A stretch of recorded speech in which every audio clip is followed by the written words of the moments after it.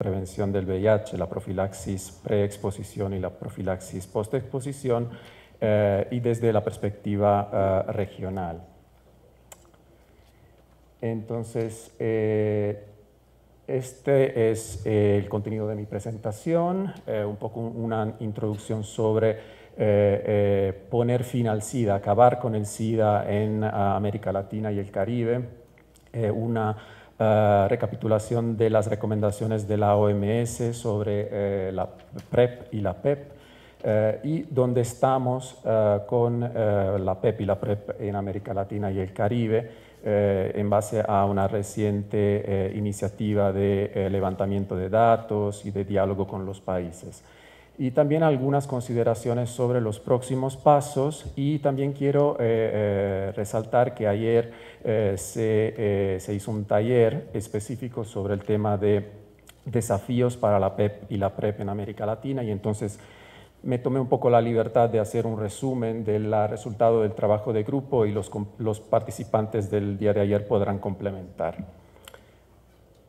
Ah, esto un poco para introducir eh, el contexto de poner fin al SIDA. A nivel mundial, ustedes saben que poner fin al SIDA es una meta eh, ya plasmada al más alto nivel eh, en las Naciones Unidas en, los, eh, en, las metas de desarrollo sostenible y también en la estrategia mundial de la OMS para la prevención y control del, del VIH-Sida y en la estrategia mundial de la del ONU-SIDA con las metas del Fast Track o acción acelerada que eh, em, eh, se centran en tres ejes principales, el acceso universal a servicios de atención y tratamiento, eh, la reducción de nuevos casos de incidencia de VIH y la eliminación del estigma y la discriminación. Y a nivel regional tenemos vigente un nuevo plan de acción de la OPS, o sea, aprobado por todos los Estados miembros de América Latina y el Caribe, que incluye la perspectiva de poner fin al SIDA, eh, ¿Y qué quiere decir? En concreto como metas, eh, reducir el número de muertes asociadas al SIDA y es una reducción alrededor del 62% comparado con eh, la línea de base de 2014, reducir el número de nuevas infecciones en un 74% comparado a la línea de base y también se incluyen obviamente las metas de eliminación de la transmisión vertical de VIH y sífilis. Y el tema de la prevención se ha discutido con una amplia, un, amplio, con amplia participación de socios, de programas, de sociedad civil, de expertos en los foros de VIH. En Río de Janeiro, de Janeiro se establecieron metas regionales de prevención y más recién en Haití también se propuso una actualización de la meta específica de PrEP. La meta de Río de Janeiro era de 10 países con proyectos de demostración en el 2020. En Haití ya, eh, como la situación ah, progresa, se propuso una actualización en 10 países con políticas públicas y una meta bastante ambiciosa de 150 mil personas en PrEP en el 2020. El tema de la reducción de eh, casos nuevos de VIH es un desafío para la región. En, general, en los últimos años eh, no se ha visto un decremento de, este, de, la, incidencia eh, y siete países han tenido un aumento superior al 10% entre 2010 y 2016 en base a las estimaciones de ONU-SIDA. Y como pueden ver, también si analizamos por sexo, en el Caribe eh, se observó un aumento, una reducción en la incidencia en mujeres y un aumento del 8% en hombres.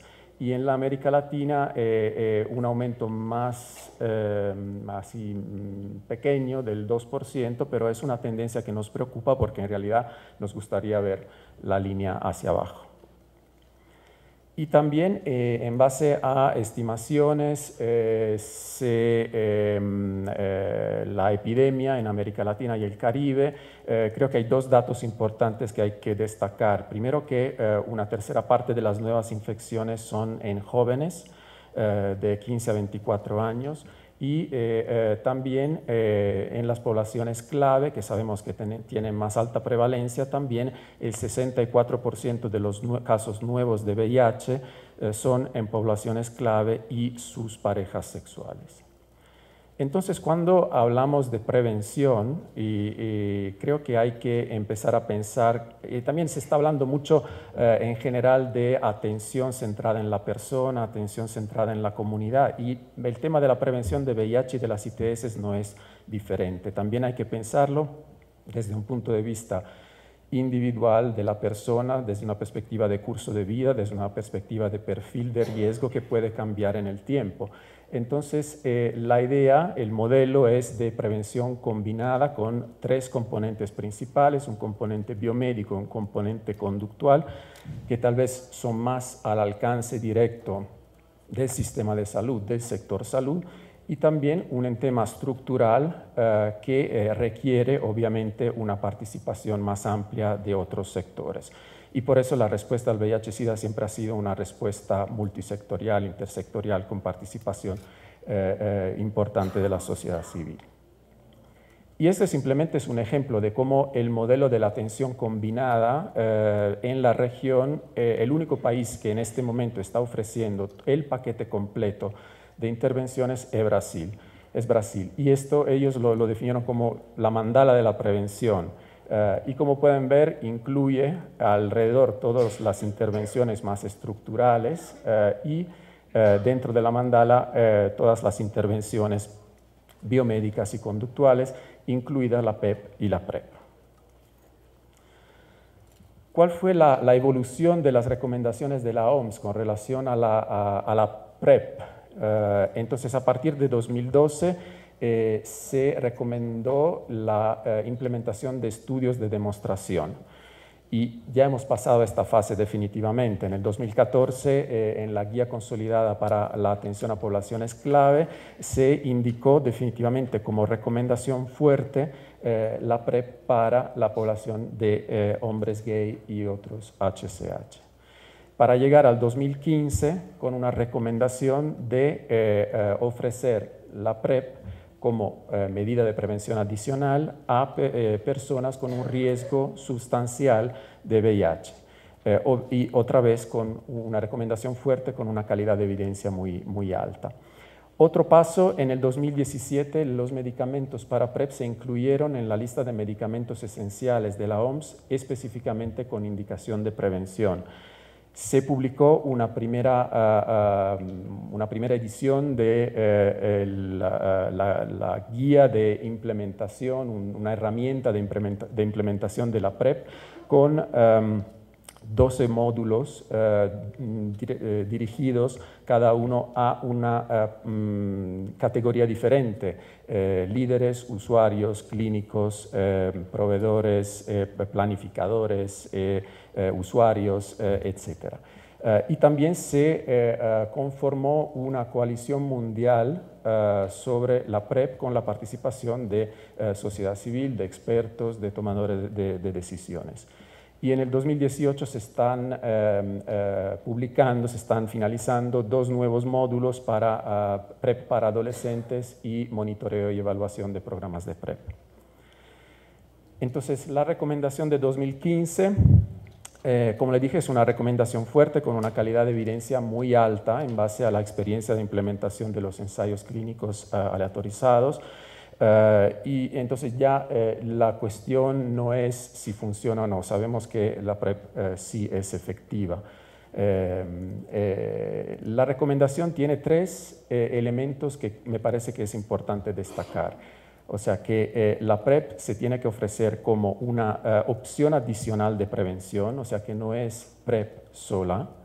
Para personas eh, con un riesgo sustancial de VIH, o sea, otra vez, la PrEP no es para todos, es para personas que realmente tienen un riesgo más alto de exposición a la infección y como parte de paquetes de prevención combinada. O sea, además de la PrEP, se tiene que ofrecer todo una un abanico de otras intervenciones eh, que eh, eh, bueno, vemos en esta otra mitad de la, de la lámina.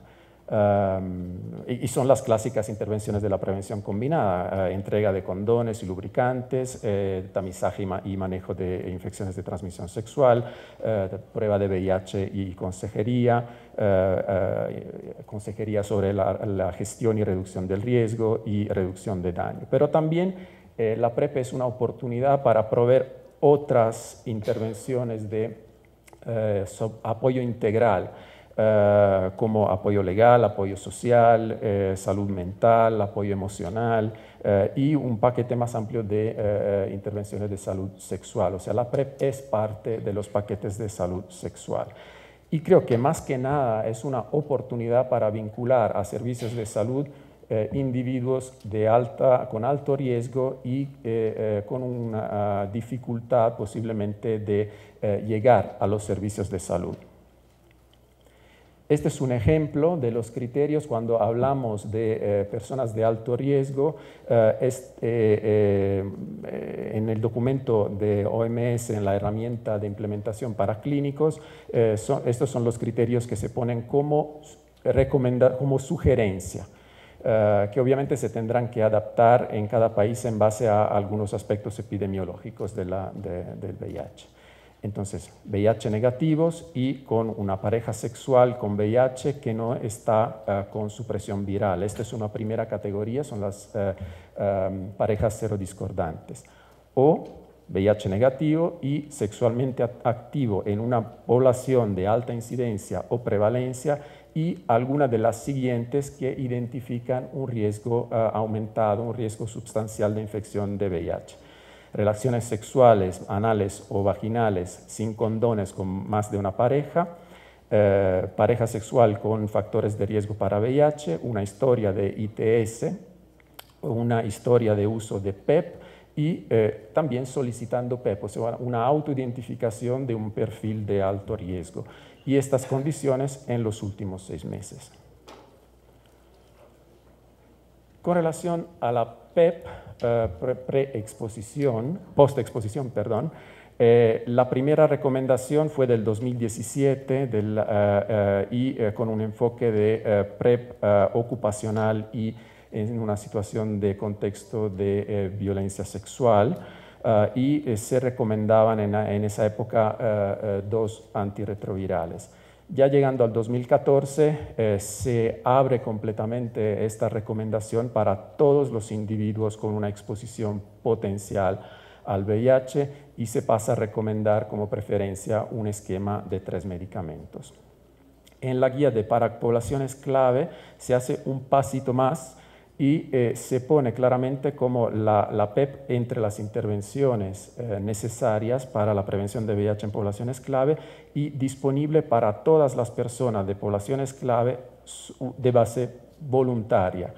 Eh, que, o sea, si, si, se reporta una exposición de riesgo en las últimas 72 horas, se tiene que poder ofrecer PEP. Definitivamente eh, se incluye PEP en la prevención, en el, modelo de prevención combinada y eh, en la herramienta de implementación de PrEP, el antecedente de PEP es un importante factor de, o criterio de indicación de PEP. Entonces, como pueden ver, eh, es una, ah, como el, el, vínculo entre PEP y PrEP es realmente muy fuerte porque eh, una PEP en los últimos seis meses es un criterio de indicación de PrEP y eh, una exposición reciente durante eh, la evaluación de indicación a la PrEP puede, ser una, puede generar una indicación a PEP antes de pasar a la PrEP. Bueno, y obviamente este vínculo con integración de todos los demás componentes de la prevención combinada. Bueno, ¿dónde estamos en América Latina? Eh, eh, les voy a presentar algunos resultados eh, de esta reciente publicación de OMS y ONUCIDA y con realmente una contribución muy grande. Se hicieron hasta 12 consultas nacionales em, en la región, 28 encuestas y obviamente utilizando como base los datos que anualmente los países reportan a las agencias. Una primer, un primer análisis de políticas públicas, creo que hay tres importantes hallazgos. Bueno, primero no es tema de esta charla, pero solamente un 45% de los países tenían a final de 2017 una política pública de tratamiento para todos. Pero sabemos que eh, muchos países están, eh, eh, están actualizando sus políticas hacia esta recomendación. Sin embargo, las principales brechas son en políticas de PEP y PREP. PREP solamente el 6%, o sea, eran dos países, Bahamas y, Brasil, uh, y PEP 11 uh, países en la región, y esto se refiere a PEP no ocupacional, uh, o sea, exposición sexual más allá de los casos de violencia. Entonces, bueno, esto es el mapa de los países que ofrecen PEP no ocupacional.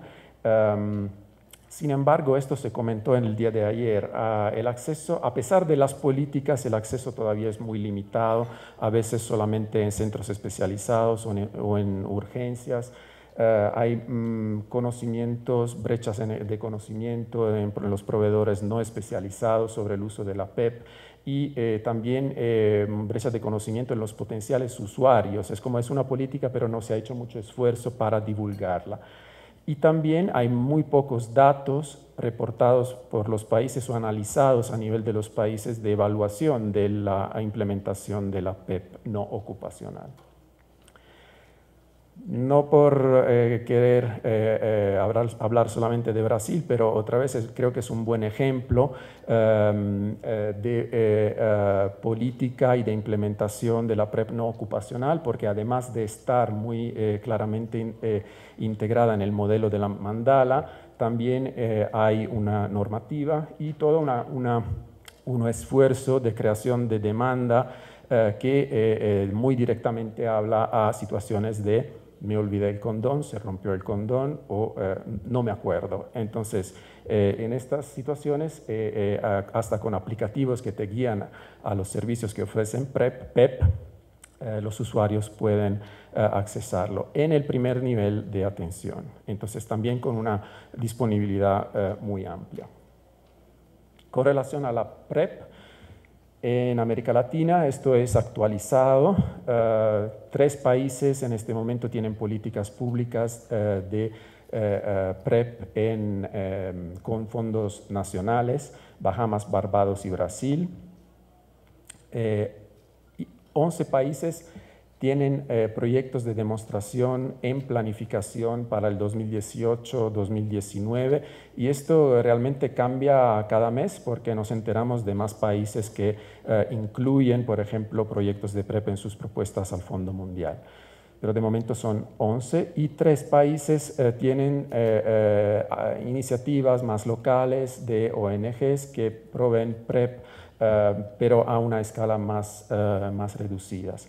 Sin embargo, sabemos que también existe PrEP en el sector privado, pero no se puede, no, se mide, no, no, no, no, sabemos exactamente cuántas personas y en qué países lo estén recibiendo y lo que se ha definido PrEP in the wild, o sea, un acceso informal eh, de personas que eh, compran online o que eh, intercambian medicamentos. Bueno, esto ya para llegar al final, este es un poco mi resumen eh, del trabajo de grupo de ayer.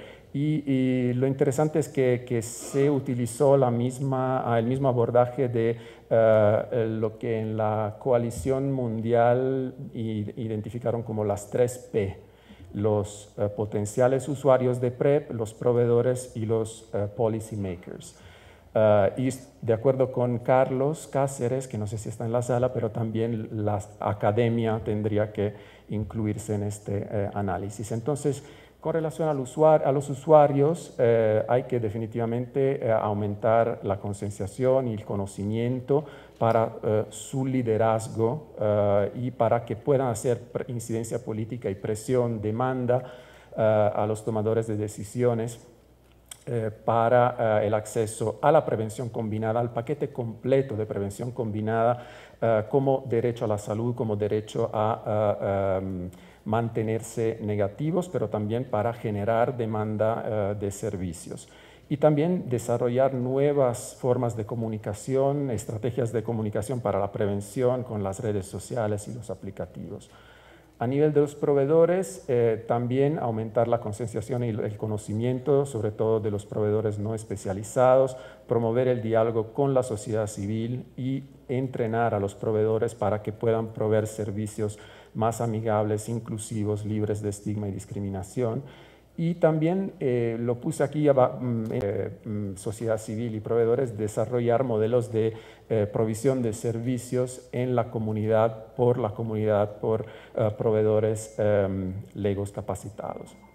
Y por último, policymakers, también aumentar la concienciación y conocimiento, más allá de los programas de VIH que creo que ya eh, lo saben, pero eh, em, los actores de la respuesta intersectorial u otras áreas de los ministerios de salud eh, también se tendrían que incluir en planes de comunicación. Desarrollar estrategias nacionales de prevención combinada con todos los elementos para un cambio de paradigma de un abordaje curativo a un abordaje preventivo del VIH eh, revisar normativas y marcos legales, eh, análisis de costo-efectividad y también de oportunidades de eficiencia para eh, tener recursos para la financiación de la, ah, de la PREP o de la PEP y adoptar definitivamente un abordaje sistémico eh, con, eh, a, la planificación, con estimaciones, normas, em, eh, flujogramas para la implementación en el sistema de salud, regulación y fortalecimiento de la cadena de gestión de suministro y modelos de servicios focalizados. Bueno, para concluir un poco mm, las conclusiones del informe de, de, la, de la lupa de prevención y un poco más allá del de la PEP y PrEP solamente, eh, la meta de reducir nuevas infecciones no está eh, eh, en, la dirección deseada. y los países en general no están implementando todas las políticas, las opciones de, prevención combinada. Existen todavía brechas de conocimiento y algunas em, ideas equivocadas sobre la prevención combinada y en particular la PrEP no ocupacional y PEP, y, perdón, la PEP no ocupacional y la PREP, eh, y una dependencia financiera, eh, sobre todo en los países que todavía reciben financiación del Fondo Mundial, específicamente para la prevención. Y eh, es importante que se siga promoviendo el diálogo intersectorial y que se fortalezcan las estrategias para reducir el estigma y la discriminación, inclusive la definición de modelos de provisión de servicios diferenciados en la comunidad dirigidos a, los usuarios y a las poblaciones en situación de vulnerabilidad. Y esto es solamente un teaser para decir que eh, la eh, conferencia HIV eh, Hepatitis in the Americas, el sábado vamos a tener otra sesión específica con más detalles sobre la implementación de PrEP en América Latina. Muchas gracias.